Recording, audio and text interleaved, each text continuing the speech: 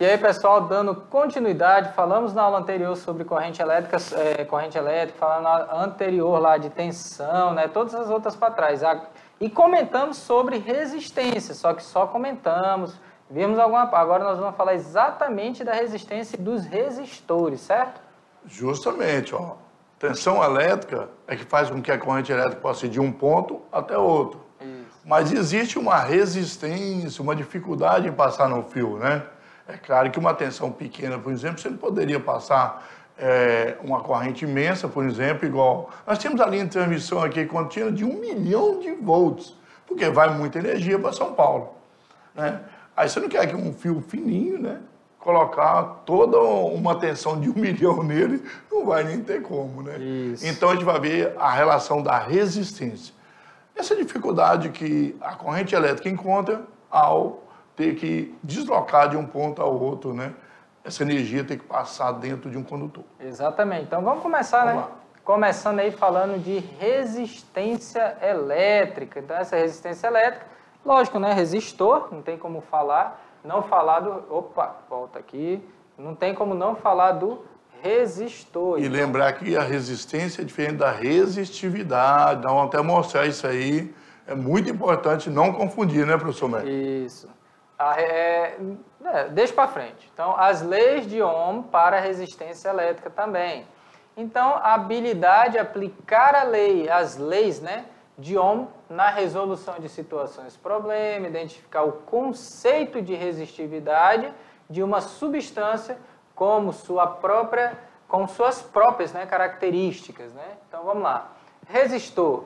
Resistor é um dispositivo elétrico, olha só, muito utilizado, com certeza. Ora, com a finalidade de transformar energia elétrica em energia térmica por meio do efeito Joule, ora com a finalidade de limitar a corrente elétrica em um circuito para não danificar o equipamento. Resistores são componentes que têm por finalidade oferecer uma oposição à passagem de corrente elétrica através de seu material. Então, nós vamos ter tipos de resistores, né? É, tipo, é, é, variadas resistências para resistores diferentes, resistores de modelos diferentes e aplicações diferentes. Tem uma imagem de resistor aí, né? Bem Tem, no... já já na frente nós vamos verificar isso aí. A essa oposição damos o nome de resistência elétrica ou impedância, que possui como unidade o ômega, né, o ohm, causam uma queda de tensão em alguma parte de um circuito elétrico, porém jamais causam quedas de corrente elétrica, apesar de limitar a corrente. É a corrente que entra no circuito acaba saindo, né? Se diminui e aumenta, mas acaba saindo do circuito. Isso significa que a corrente elétrica que entra em um terminal do resistor será exatamente a mesma que sai pelo outro terminal. Porém, há uma queda de tensão. Utilizando-se disso, é possível usar os resistores para controlar a corrente elétrica sobre os componentes desejados. Justamente. E algo muito interessante, que eu vou mostrar aqui um exemplo, é o é, intensiômetro, né? que é, é, que você pode falar. Tem alguns nomes diferentes também, que é o. Já vou lembrar o nome aqui. Reostato, né? Reostato. É o reostato. Os resistores podem ser fixos ou variáveis, né? Nesse caso, é variável, porque você pode girar essa chave. Já vou mostrar aqui. No caso de serem variáveis, são chamados de potenciômetro ou reostatos. O valor nominal é alterado ao girar um eixo ou deslizar uma alavanca. Então, no pessoal... laboratório isso é muito bom, né, para a gente poder isso. fazer experimentos, né, professor Mac? Isso. É importantíssimo. Então, pessoal, olha só. O que é que acontece aqui? Segura aqui, professor. Então, olha só, dá uma olhadinha aqui. Isso aqui, gente, é, isso aqui foi patrocinado pela minha esposa, ela quebrou o liquidificador, né? Então, o que é que acontece? Quebrou a carcaça. Então, o professor sempre dá um jeito de utilizar o material. Até as esposas ajudam isso, né, com a educação. Isso aqui é só para observar. Aqui é um motor, motor de liquidificador. Justamente. Aqui lógico, aqui está um pouquinho distante, mas dá para perceber que existem vários resistores aqui. E o principal que eu quero mostrar é o quê? Que essa hélice lá dentro, lógico, né, que tem a hélice em cima, né? Esse, esse esse eixo, um, né? eixo, é. Esse eixo vai girar de acordo com esse equipamento aqui, ó, tá vendo? Eu acho que eles Você conhecem. muda a velocidade, claro, né? Isso. Quando você muda o tal da velocidade, você está mexendo nisso aqui. Exatamente. Aqui dentro, embaixo, tem aqui, ó, aqui onde eu estou tocando, ó, ele tem vários conectores que você aumenta ou diminui, como foi falado. É. Nesse aqui, se eu não me engano, são 12 velocidades. Então, professor, desce, segura aqui para mim, por favor. Então, olha só, pelo clique você imagina, ó, Opa, ó, opa, para cá não, para cá o pulso. Ele só é aquele que faz bum, bum, né? Um, olha só, um, dois, três, quatro, cinco, seis, sete, oito, nove, dez, onze, doze. O chuveiro então, elétrico também tem, só que o chuveiro elétrico são duas, é um né? lado, um verão, para outro, na verdade, né? e, e, anula, né? É, Mas, desligar. Então, gente, olha só, o intensiômetro, esse aqui é muito legal, que ele tem 12 velocidades. E fiquem, que uma hora vai sair um experimento disso aqui. Ainda não. Na não verdade, como... o que está mudando a velocidade é o lado de cá, né, professor? Vira aqui, assim. Isso. Esses, essas quantidades de resistores que vão passar e vão fazer os caminhos, né? Isso, aqui, aqui tem... para cada velocidade vai passar. Você quer a velocidade menor, você coloca mais resistor e limita a isso. corrente, tem uma corrente menor. Então, o outro lado dele isso. aqui é para isso. Então, você gira aqui, ó, eu tenho o pulsar e mais 12 velocidades. Então isso aqui é bem legal. Esse aqui é o reostato. Cada Atrás vez que você dele, gira isso, você muda a configuração aqui, ó. Atrás dele aqui eu tenho vários resistores, ó. Ele vai limitar a passagem ou diminu é, diminuir é. ou deixar voltar o que era. Maior né? velocidade, se de uma corrente maior, você deixa passar com a resistência menor. E lembrando, gente, que esse motor está em perfeitas condições. O que não está é a carenagem, né? Tem outro lá em casa, mas ele está em perfeita condição. Você não quebrou só para fazer aqui e deu outro para ela, não? Sei não, professor. Não, minha mulher, acho que ela quis, ela quis um novo, né? Aí sem querer escorregou da mão dela. Até brinco com ela. Mas, gente, perfeitamente estado, reostato, potenciômetro Justamente. e os resistores atrás dele, beleza? Então, a função do potenciômetro é mudar, né? Isso. A quantidade de corrente que passa, dando velocidade a eles, porque transforma em energia elétrica, transformando em energia, no caso, cinética. então, movimento. vamos voltar lá para o slide e continuar. Então, aí só para mostrar essa chave, né? Esse Isso. que era... E mostrar que tem uma aplicação no seu dia a dia, né? Lógico. Isso aqui é de um liquidificador, mas isso aqui tem muitos equipamentos, ventilador. Sim, todos que têm velocidade tem. Isso. Então, mudar. continuando aí, né? O reostato é um dispositivo utilizado para variar a resistência de um circuito. Falamos aqui, né? E assim aumenta ou diminui a quantidade de energia elétrica que será transformada em térmica ou em movimento, como nós acabamos de ver aqui né, no caso do chuveiro elétrico e térmica.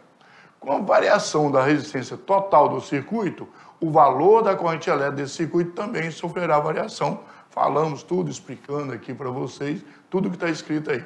Claro que você tendo isso aí para poder ler né, em casa, Sim. aí você vai lembrar o que nós falamos. Dessa forma, é possível utilizar o reostato quando deseja-se fazer o controle Olha bem aqui nós falamos de corrente elétrica de um circuito. Controlando a corrente, você está controlando temperatura, no caso do chuveiro, você está controlando velocidade, no caso do, do nosso indicador, etc. Assim por diante. É, o ventilador. No controle, por exemplo, aí, o controle de excitação de um motor de corrente contínua com um campo em derivação. Também nós temos essa utilidade. Esse resultado ele é mais antigo, né, mostrando aqui. O que, que acontece?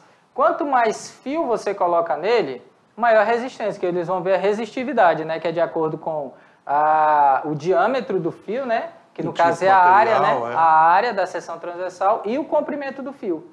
Por definição, reostatos são dispositivos tais que podemos variar a sua forma ou as suas dimensões. O que, que ele está fazendo aqui? Ó? Quanto mais ele gira, ou vai ter mais fio ou menos fio. Eu estou aumentando o tamanho dele. Justamente. De modo a obter uma resistência variável. Então, pessoal, Isso olha é 1843, só. Hein? Isso. Agora você pensa, nossa, 1843, será que mudou? Praticamente não. O que, que você faz? Se você encontrar um chuveiro elétrico quebrado, quebrou na sua casa, vai jogar fora, se você tirar ali, você vai ver que tem um filamento maior e um filamento menor.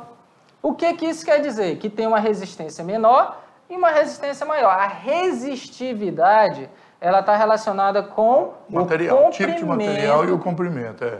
Isso, então os dois Isso. são o mesmo material, porém o comprimento é diferente. É diferente. A espessura dele é a mesma, só que ele tem um pouco mais de voltas quando é mais quente e menos voltas quando ele é para aquecer menos, porque ele vai passar, ele vai ter um caminho maior a percorrer, então ele vai ter uma resistência maior à passagem de corrente elétrica. Você vai ter uma corrente menor. Né? Isso.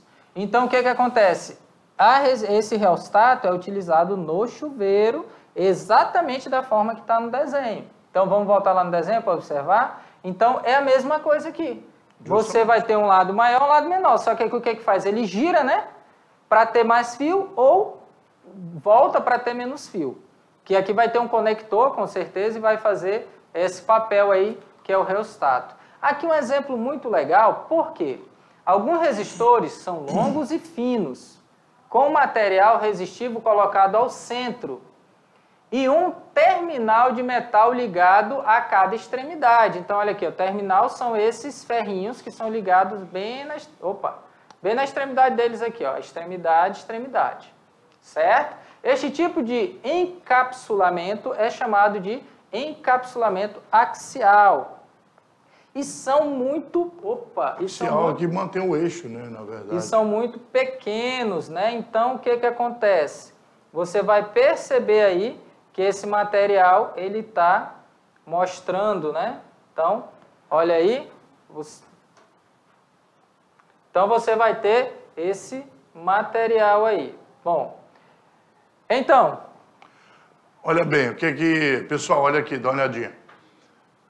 A gente percebe o seguinte: quando você está com um material diferente, você vai ter resistência diferente. Mas você também, com o mesmo material, você pode ter comprimentos diferentes a área da seção, que é a grossura, isso, né? Mais grosso o fio, igual meu dedo aqui, mindinho, né? É uma grossura, meu braço é outra. Então, também os fios têm grossuras diferentes. Esse diâmetro, isso vai dar uma resistência diferente também. Voltando lá, então, vamos perceber direitinho lá, olha aí. Então, o que, que vai ter aí? Ó? Vários resistores, só que vocês percebem que não tem número escrito. Aí você pensa o quê?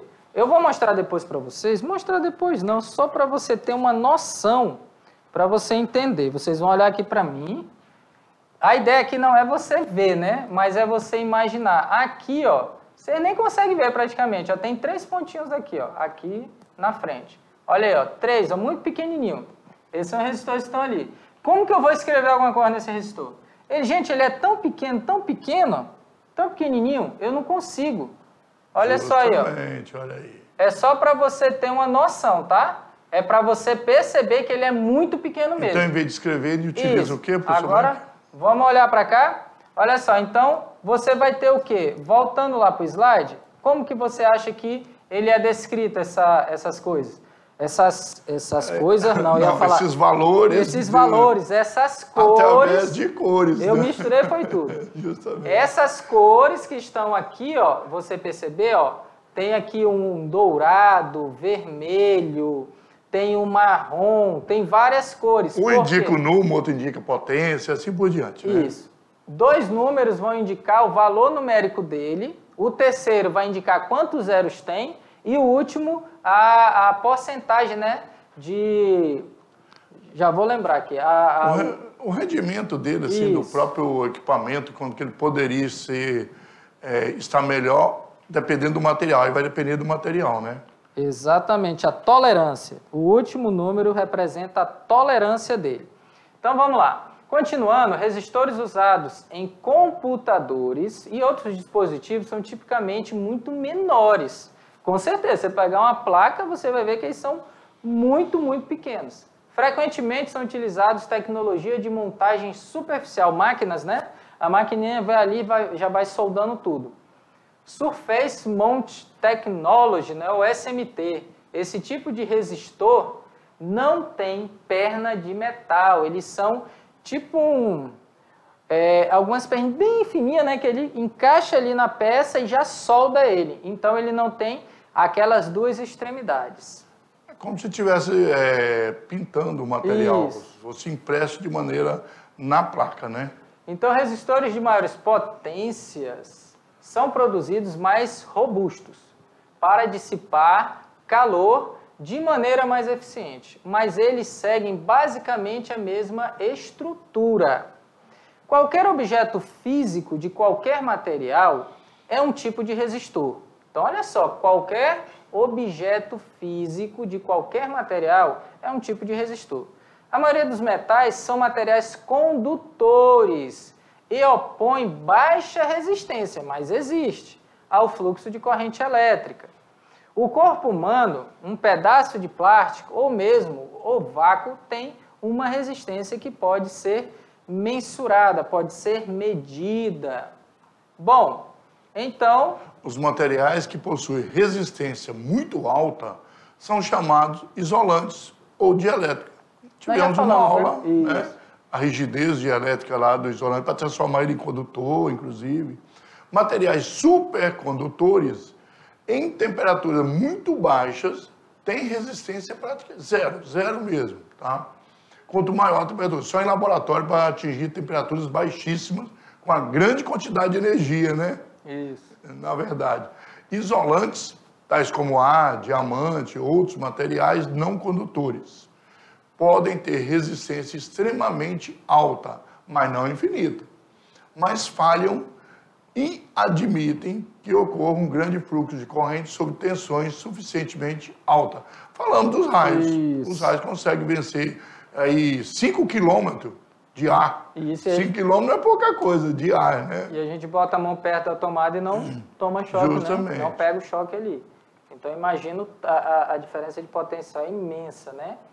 Então, um resistor ideal, ideal é um componente com uma resistência elétrica que permanece constante, independente da tensão ou corrente elétrica que circula pelo circuito. Como eu falei, não é qualquer uma também, você não pode exagerar, tem um intervalo para que esse material continue com essa resistência permanente aí, sem mudar, não é, é. também algo extraordinariamente grande a mudança de tensão e corrente. o resistor ideal ele é aquele em laboratório, para você controlar Isso. a temperatura, a, a, quantidade de corrente, porque na sua casa, por exemplo, está lá no teto, tudo lá. Esquenta de manhã ou de tarde, etc. Então, realmente você não tem, pessoal, olha bem.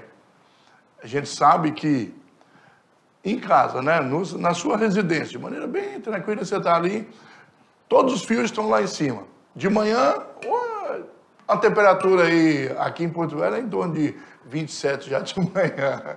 Aí à tarde, 40. Mas no forro, lá a temperatura chega a 70, 80 graus, onde o fio dentro, por exemplo, de uma parede de concreto. Então, ali, quando o engenheiro faz todo o trabalho, ele mede a temperatura não ambiente. Ele mede uma temperatura que sabe que pode atingir. Primeiro, se você tiver 5, 6 fios juntos, todos eles passando energia, vão aquecer. Vai aquecer todo aquele lugar onde ele está. Então, a temperatura é em torno ali, medida, né? Faz um cálculo para 90 graus. Não é que vai atingir 90, porque aí você vai ter uma resistência. Se ele chegar a 90, ainda vai funcionar bem. Claro que o dia que está mais frio, com certeza você vai gastar menos energia. Aqui em Porto Velho, você vai pagar menos energia no dia frio do que no dia quente. Até porque aqui nós não temos é, aquecedores, né? Utilizamos só o ar-condicionado mesmo. Beleza? Então, vamos voltar lá. A resistência elétrica. Ó, a medição crítica de um resistor é a resistência que serve como relação de tensão para a corrente. E ela é medida em ohm, né? Aquele símbolo é o ômega, a gente lê ohm. Uma unidade do sistema internacional. Pode falar ohm mesmo, ohm ohms. Ohm é porque é o alemão, né, a é. maneira de falar, mas um componente tem uma resistência de um ohm. Se uma tensão de um volt, olha, um ohm, se uma tensão de um volt no componente fizer com que percorra pelo menos uma corrente de 1 amperes. Então, tudo um. Aí você tem a medida equivalente aí à circulação de 1 coulomb de carga elétrica que são 6,25 aí arredondando, vezes 10 a 18 elétrons por segundo, ok? sabendo que cada elétron tem uma carga de 1,6 vezes 10 a menos 19 coulomb. Isso te dá a corrente, né? O valor de um resistor pode ser facilmente identificado de acordo com as cores que apresenta, o professor Mac colocou direitinho e explicou para vocês, na cápsula que envolve o material resistivo. Ou então, usando aí um ohmímetro. Esse aparelho aí, ele pode ser um ohmímetro, às vezes você tem também um voltímetro e um amperímetro no mesmo aparelho. Às vezes Isso. a gente tem um multímetro, né? É, o melhor é o multímetro que você é. já tem tudo, né? E o multímetro, esse é o multímetro, ele pode ser Isso. usado para medir a resistência, a corrente e a tensão, tá? Ok? É baratinho, viu? Quem quiser tiver fazer experiência Isso. em casa, é, não é caro não. Tem como comprar. Isso aí. É, porque aqui é melhor, se formos usar, aqui no, hum. no, no estúdio não fica tão legal, porque é questão de números muito pequenos, né? Mas sempre que possível é, nós vamos estar mostrando. Mas se você pegar e medir no circuito sem nenhum, nenhuma, nenhum risco, né? Porque aí geralmente é, é meio arriscado estar tá mexendo com tomada, tensão de 110, então por isso que nós não utilizamos muito aqui, só se for feito à parte. Mas dá para dá observar sim. Aqui o legal é o que? Por seu tamanho muito reduzido, acabei de falar e mostrei, né? Praticamente eles não enxergaram. É inviável imprimir nos resistores as suas respectivas resistências, né? Optou-se então pelo código de cores, que consiste em faixas coloridas indicadas com a letra A, B, C e porcentagem de tolerância no corpo do resistor. As primeiras três faixas servem para indicar o valor nominal e a última faixa a porcentagem na qual a resistência pode variar conforme a seguinte equação. A tolerância está mostrando aqui. Mas é uma equação que é utilizada para colocar lá e dizer quanto vale. Aqui nós vamos estar usando isso. Dificilmente isso aí vai ser utilizado no, no concurso como o Enem, né? Isso. Menos um e prateado. Tá, isso aqui é só questão de mostrar. Só que aqui que é o mais legal. Se você prestar atenção, aqui eu tenho vários, só que aí geralmente essas cores são muito pequenininhas, então não pega uma imagem legal, é difícil pegar. Então prometo aí que posteriormente, se eu conseguir, eu trago uma imagem bem mais nítida, mas eu vou mostrar já já para vocês. Então, código de cores. Você começa pelo prata, ele não tem dígito. O dourado também não. Então, não vou, geralmente você não vai ter no início uma cor dessa. Você vai ter as outras.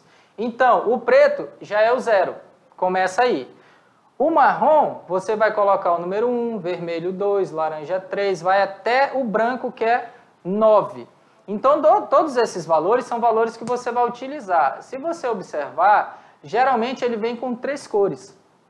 No início e no final, a tolerância. Eu trouxe três modelos e vou colocar as cores que eu achei. Então, em vários que eu peguei, tinha o quê? Marrom, preto, vermelho, marrom, preto, marrom e marrom, preto, verde. O que, que eu encontrei? Uma resistência de 100 ohms, uma de 1 kΩ, que é 1000, e uma de 1 mega ohms, que é 1 milhão de ohms. Então, como que eu faço isso? Vamos aqui observar esse exemplo aqui. Olha só, vou mostrar para vocês aí. Então, a tela, o que, que acontece? Eu vou tirar, então mostrando aqui, só um momento mostrar aqui para vocês. Vamos ver aqui já. Consegui aqui rapidinho. Pronto. Vou mostrar para vocês aqui. Aqui na tela, olha só o que vai acontecer. Vou já mostrar para vocês como vai ficar a, o código de cores. Vai aparecer aqui na tela para vocês. Já é legal, né, colocando... né, Mac, que isso aí vai mostrar e fazer automaticamente o valor, né? Isso. Já teríamos o valor aí. Exato. Isso aqui é importante. Pronto, já apareceu para vocês aí, ó. Então, o que, é que eu vou fazer agora? Eu vou fazer uma seleção. Eu vou fazer a seleção. Aqui eu vou mostrar para vocês o código de cores. Quais são esses códigos de cores? Você observa aqui, ó. O primeiro que eu achei, vou lá, vou fazer o de 100 ohms. Eu começo pela cor marrom. Então, vem aqui em cima da cor. Isso aqui, gente, vocês têm no celular, dá para baixar. O celular é bem legal. E aqui é na internet, para poder mostrar para vocês. O primeiro que eu vou colocar aqui, ó, é o marrom. a cor marrom. Depois, preto, já está preto. E o outro, marrom de novo. Voltei aqui. Opa. Ô, oh, gente. Voltar aqui, deixa eu ver se eu consigo. Voltar a página. Nossa, foi para frente. Então, pessoal, nós podemos ver aí que um problema técnico, né? mas nós estamos resolvendo, colocando aí para vocês, para mostrar como fica. E praticamente quando você termina de colocar as cores nesse programinha aí, nesse sisteminha, um appzinho, né? Você consegue, na verdade, fazer ele é, medir e automaticamente. Volta lá então, vocês então, conseguem perceber isso. Você vai perceber aqui ó, o seguinte, vamos lá, de novo, preto, agora o marrom. Aqui é meio, aqui, marrom, pronto. E o último, dourado, né? Que o dourado aqui vai ser o ouro. Olha só, ouro. Então, olha o que, que me deu. Aqui o valor, ó, 100 ohms, com 5% de tolerância. Então, esse aqui é o primeiro que eu achei. É um dos que eu mostrei que vocês não conseguiram visualizar, que é geralmente para experimento. 5% que pode ser 105 ou 95, né? Agora eu vou tá achar um de, um de 1000 ohms, que ele significa o quê? 1 kilo ohms. Vamos lá, o primeiro vai permanecer marrom, o segundo preto, só vou mudar o, o terceiro que é para vermelho. Que é a potência, então, né? Quilo-ohms. Eu já mudei, com, também ele é dourado final e com 5% de tolerância, então 1 quilo-ohms. E o último que eu achei é um de 1 mega-ohms, que é 1 milhão de ohms. Então olha só, o que, que eu vou mudar? Somente a terceira cor, que é o verde. Olha só, o verde, 1 mega-ohms. Então, observe aí que você consegue achar esses valores. E aqui é um site na internet que você acha tranquilamente no celular e pode achar o valor das Se resistências. Se mudar a última coisa, você vai mudar a tolerância, né? É, vou fazer um experimento, já sabe como medir. Muda aí, eu vou mostrar para vocês. que muda a tolerância. Oi? Ah, sim. Último, Se eu mudar aqui, por é, exemplo. Pode mudar, por exemplo. Marrom, a tolerância é 1%. Ah, pronto. Fui ali, mas. É isso aí, pessoal. Então, Esse... Tranquilo? Pronto, voltei. Isso. Não, aqui vai voltar. Agora já... Ó, o prata, por exemplo, que é 10%. O marrom, que é 1%. O em laboratório, quando está produzindo, é, é que eles determinam isso aí, né? Aí eles vão, tá, pessoal? Então, vocês percebem aí o seguinte, olha bem, que quando faz, você está produzindo, no caso, o, o resistor, quando produz ele, você sabe naquele material qual a tolerância que você pode ter ali, a variação, se ele pode variar, na verdade, só 1%, né, ou até 10% aí de variação. 10% é muito, né? Mas for em mega, por exemplo, é muito, mas em 10 já 10% é só um, um homem, né? 10 homens, por exemplo. Certo? Então vamos, vamos voltar lá para Voltando lá para a nossa tabela. Isso. Então toda vez que vocês fizerem, gente, o que, que vai acontecer? Essa, essa primeira cor, que é assim, ó, eu vou colocar bem aqui em cima. Eu vou ter quatro cores, né? Geralmente quatro cores. Tem a primeira, a segunda, a terceira e a quarta. A primeira, eu vou ter um dígito. O que, que é esse dígito? É esse aqui, ó. Eu vou ter um número, por exemplo, 1. Um. O segundo também é dígito. Sei lá, é, lembra que eu falei que era marrom preto? Então, meu segundo dígito é o zero.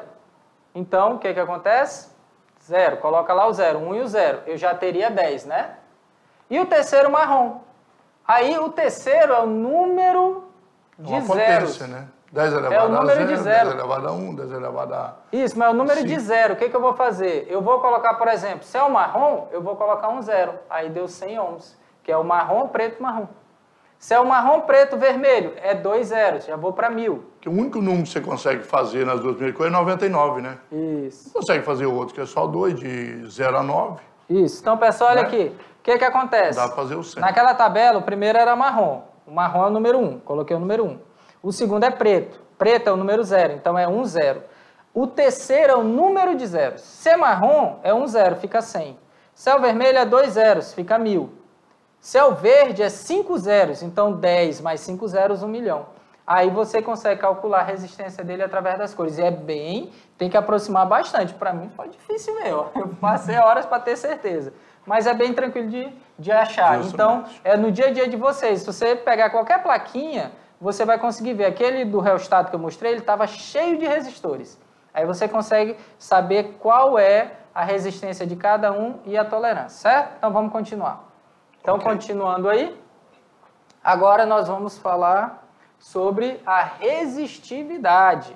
A resistividade elétrica, também conhecida por resistência elétrica específica. E por, por que específica? De cada, cada material. material. Cada material tem um Falando seu. junto, professor Médio. É lógico, então o pensamento aí conectado. Estão treinando bem aí. É uma medida para opo... Oh, desculpa, é uma medida da oposição de um material ao fluxo de corrente elétrica. Então ele vai dificultar menos ou mais a passagem de corrente elétrica, dependendo do material.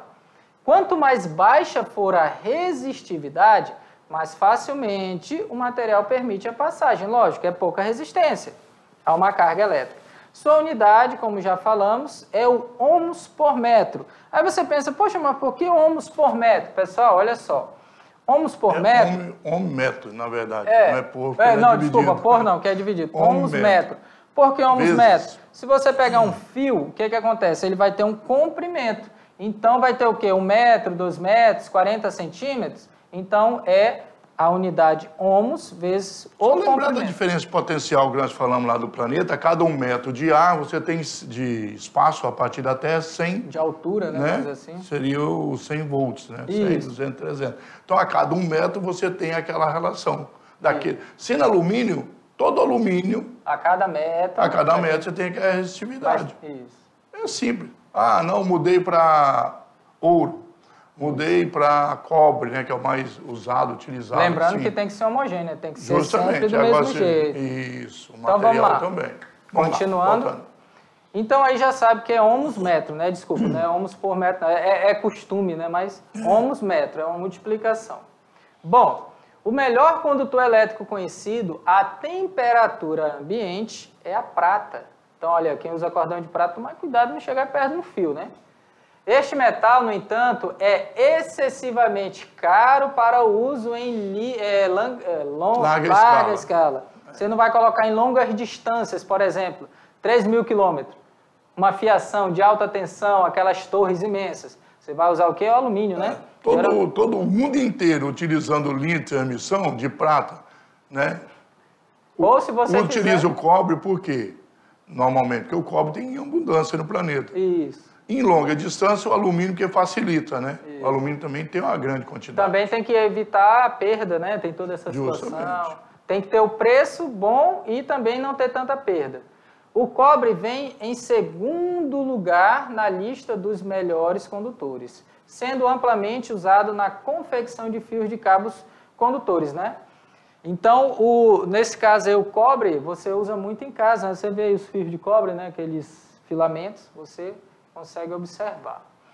Logo após o cobre, encontramos o ouro, que, embora não seja tão bom condutor como os anteriores, devido à sua alta estabilidade química, metal nobre, né, praticamente não oxida e resiste a ataques de diversos agentes químicos, sendo assim empregado para banhar contatos elétricos. Agora aí é que tá, né? Então, pessoal, olha só. Quando fala banhar, é partículas muito pequenininhas. Então, é como se fosse uma poeirinha, né? Praticamente não usa quase nada. Em circuitos, aí é mais fácil. Porque aí você consegue pegar camadas bem finas e passar ali naqueles circuitos. Agora, você usar um fio já, uma grama de ouro é absurdamente caro. Você não vai estar comprando para fazer isso. Ou, por exemplo, é, na, na microscopia eletrônica, é muito utilizado nanopartículas de ouro. Por exemplo, você quer observar um objeto é, biológico. Você não vai pegar e jogar, porque não tem nenhum metal para refletir o elétron ali. Então, o que, que faz? Banha aquele objeto, uma mosca, por exemplo, toda de, de nanopartícula de ouro, aí você consegue trabalhar com microscopia eletrônica, senão não consegue. Tem que ter um metal para fazer essa varredura, tá bom? Para fazer essas leituras. Tem vários tipos aí. Mas vamos lá, continuando? Já até falamos desses microscópios aí sendo assim empregado para banhar apenas esses contatos. Ó, o alumínio está em quarto lugar, ele é três vezes mais leve que o cobre, por isso que eu falo que em alta tensão utiliza o alumínio, que ele é mais leve, né? E é característica vantajosa para a instalação de cabos em linhas de longa distância. Linhão que a gente fala aqui, né? É, o linhão, isso. Abaixo apresenta alguns materiais de suas respectivas Resistividade. Isso aí vale aquilo que nós falamos, cada metro, né? Isso. Desse material, e o material puro, não pode ser mistura aí não. tá? Isso, aqui é ohms por metro, só que essa temperatura aqui não é pra gente, né? Uma Isso temperatura aqui de já é 20. friagem, né? 20 graus Justamente. Celsius é friagem. Não, maior temperatura vai mudar isso aí. Isso é feito Isso. dentro. Essa tabela foi feita com uma temperatura de 20. Isso. Sem ter pela condições normais, de, né? Então, 1,59 vezes 10 a menos 8 para prata, para o cobre 1,72, porque até no latão é 10 a menos 8. Então, ouro 2,44, alumínio 2,92, tungstênio 5,60, que o tungstênio é aquele filamento da lâmpada incandescente, né? Isso. Níquel 6,99 vezes 10 a menos 8 e latão 8 vezes 10 a 8. O ferro já é uma, uma grandeza diferente, né? ordem de grandeza diferente. É 1 vezes 10 a menos 7. E estanho 1,09 vezes 10 a menos 7 e platina 1,1. Então aqui ele está mostrando em uma condição de 20 graus Celsius. Mudou, como nós falamos, a temperatura influencia, né? Justamente. Bom, as leis do, de Ohm para a resistência elétrica, então, As leis, porque são mais de uma, pessoal. São Isso. duas leis, tá? A lei de Ohm, assim designada em homenagem ao formulador, que é o físico alemão Ohm, né? Afirma que para um condutor mantido a temperatura constante, a razão entre a tensão entre dois pontos, que é a diferença potencial, e a corrente elétrica é constante. Essa constante é denominada resistência elétrica. Quando essa lei é respeitada por um determinado condutor, mantida a temperatura constante, nós falamos que ele é um condutor ômico. Até um exercício que passamos aí, um era ômico, outro não era, o outro não era, né? Resistência de um dispositivo condutor é dada pela seguinte equação: já foi dado, né? tensão sobre corrente. Aqui já conhece Já tudo, né? disse, é, então vamos já. olhar um exercício. Um exemplo aí. Nos choques elétricos, as correntes que fluem através do corpo humano podem causar danos biológicos, que, de acordo com a intensidade da corrente, são classificados segundo a, a tabela a seguir. Né? Aí nós temos aí a corrente Até elétrica. 10 miliamperes, dor e contração Isso. muscular. De 10 a 20 miliamperes, aumento da contra, de contrações, aumento das contrações musculares. De 20 a 100 miliamperes, parada respiratória. De 100 miliamperes até 3 amperes, fibrilação ventricular que pode ser fatal. E acima de 3 amperes, parada cardíaca, queimaduras graves. Gra e queimadura interna, né? Que fala assim, não é só Justamente. queimadura externa, não, interna.